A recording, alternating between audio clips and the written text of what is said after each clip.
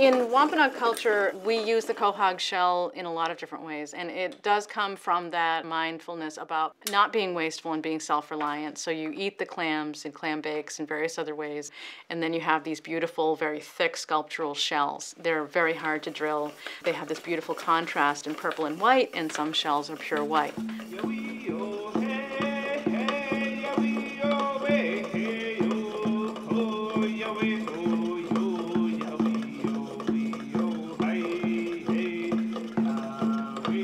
Culturally, we use both the purple and the white to carve into the beads, to weave into belts, and to weave into collars and strands, and also shape them into various abstract shapes and animal effigies and things like that.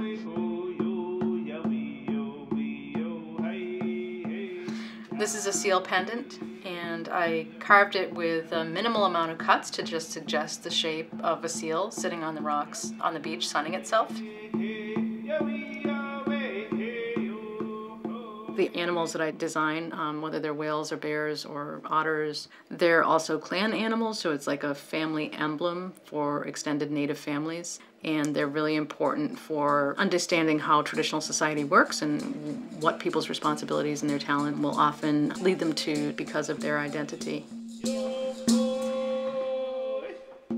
Artwork is connected to my traditional homeland here in the Northeast on um, Martha's Vineyard and Cape Cod, throughout mainland Mass and um, eastern Rhode Island.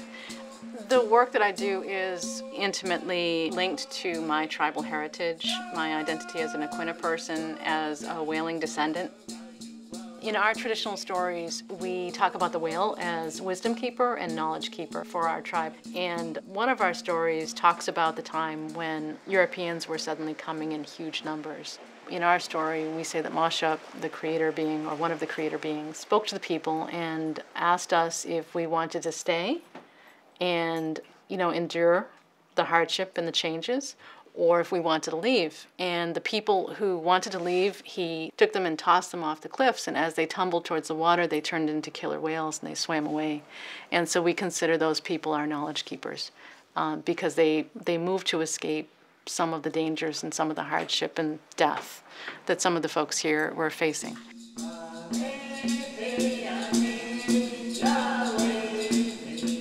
I think creative people are sensitive people. We pick up a sense of things and the spirit of things through our hands.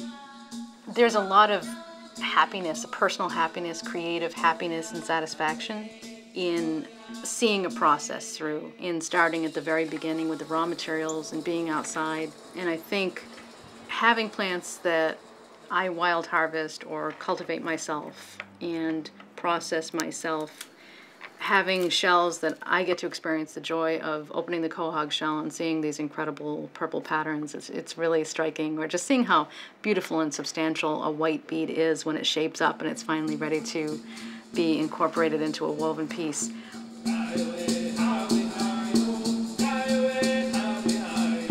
For Wampanoag people, our traditional arts involve using local bark or bast fibers, also plant bast. So the milkweed is a really common plant in the Northeast and really practical for doing finer textiles. We always go out in the wintertime to harvest the milkweed stalks. They've reached their full height and their maturity. And the pollinators, various indigenous bees, introduced bees, hummingbirds, butterflies, all get a chance to use the plant in the way that they do for their life cycles. So it's peeled from the stalk, processed, um, spun, dyed, and then woven into a variety of, of different things, sashes or a skirt or a nice bag for your personal effects. I like to get nice tall milkweed, like my height. I start at one end of the stalk and I peel the fibers down the whole length of the plant. And once you have a lot of the fibers, you keep them nice and parallel, um, you start to take those parallel fibers and you have to break down any of the remaining outer bark that's kind of waxy that it clings to the nice silken fibers of milkweed. And then it's time to draw them out and start doing your spinning. You need to give them a twist because the twist then gives it a certain body and a certain strength.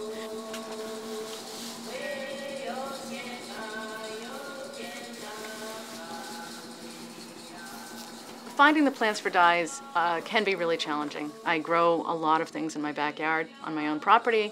I encourage them to spread. Um, I started a, a, garden on my um, tribal lands as well some years back.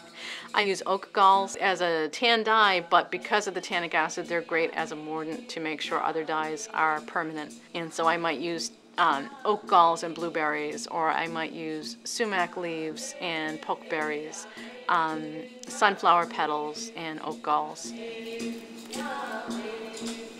As a sewing fiber, I use sinew, and so the sinew is actually deer tendon or elk tendon, depending where on where you live. Maybe it's whale tendon or buffalo tendon or bear tendon.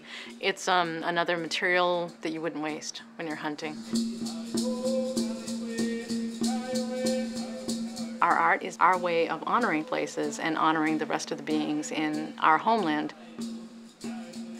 And teaching traditional arts is really important because cultural arts contain so much sophisticated traditional ecological knowledge that has gone into making those arts what they are, and that's knowledge accrued over countless thousands of years.